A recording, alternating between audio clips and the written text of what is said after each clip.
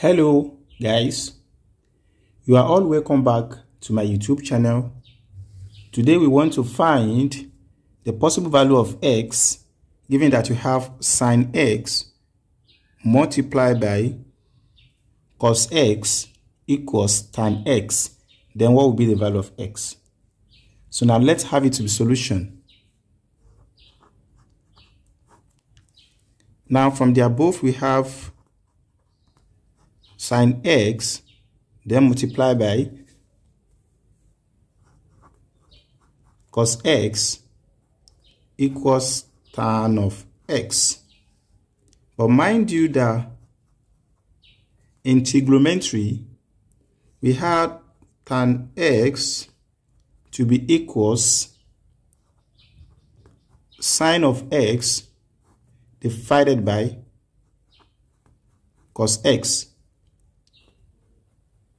So by putting it here, this implies that we are going to have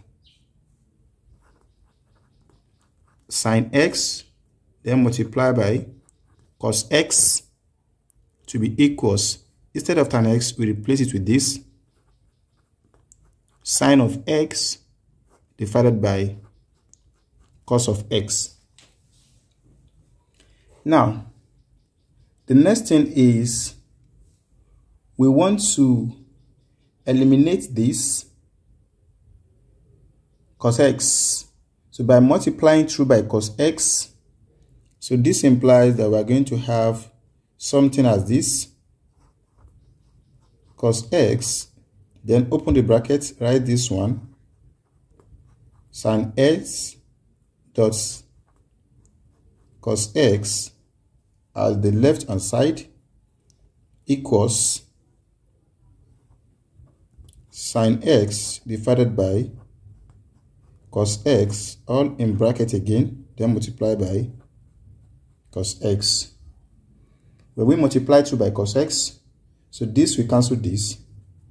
This implies we have this times this we have sine s dot cos s dot cos x obviously this we cancel this we only have sine x. Now the next thing we can do is saying by saying we have sine x. Cos x multiplied by cos x we have it to be cos square x equals sine of x. So now from here guys let's take this to this side. Or let us have let us take the whole of this to this side.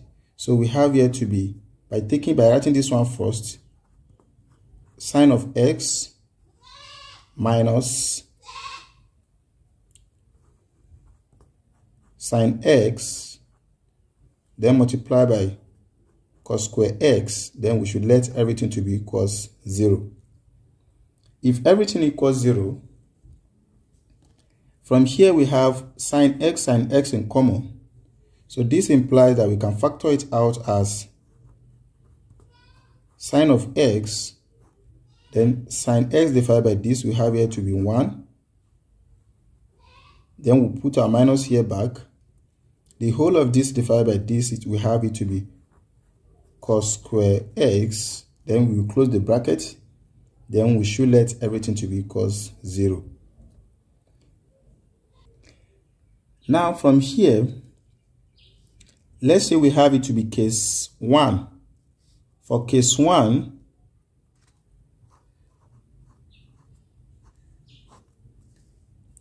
for this expression to be equal 0, this implies that we can have sine of x to be equal 0 and Likewise, let's have it to be case 2. We can also have 1 minus cos square x to be equal 0. Now let's deal with case 1 first. What are we trying to say here is that for sine of x to be equal 0, when we consider the four cardinal points of trigonometry, we believe that from here to here is 90. From 0 degree to 90, when you have your x to be equals 90, then we are going to have, so we are going to have the value, when you take sine of 90, the value we are going to have is not going to be 1. But the moment when you come to this point, the second quadrant, we have here to be 180. The moment when you take the value of x to be equals 180, so sine 180 will give us 0. And this implies that we can have sine of x to be equal sine of 180 degree plus. When you also come here, we have here to be 360. But in general, we regard to put n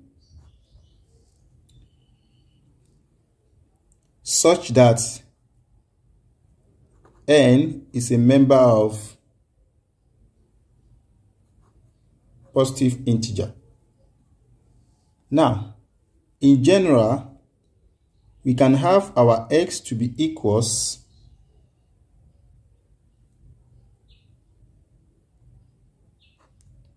one eighty plus three sixty degree n.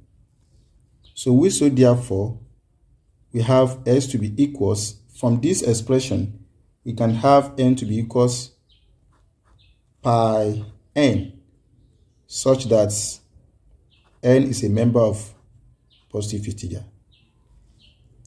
No matter what the value of n may be, we believe that the sine of it will give us 0. For instance, when n equals 1,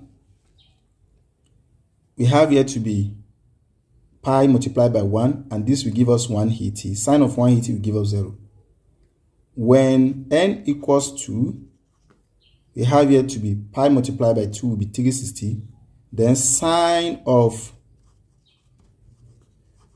360 will also give us 0.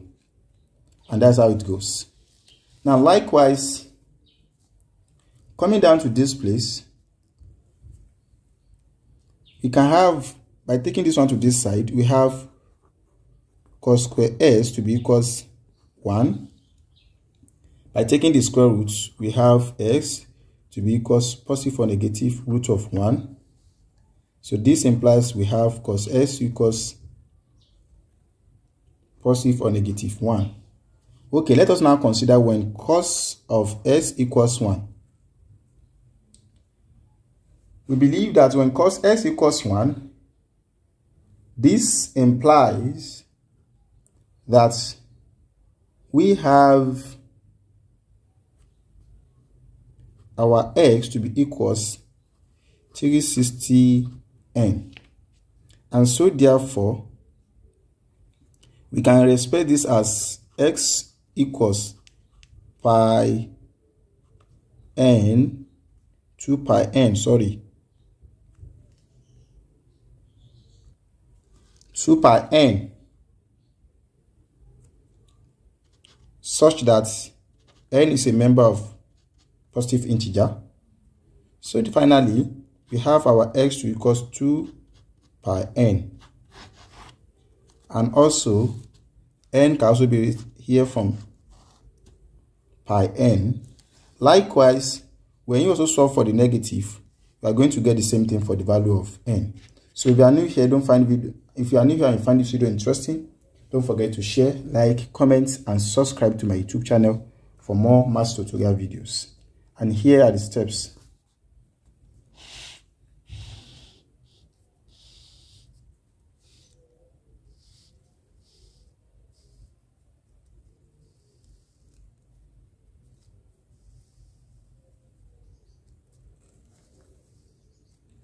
So we have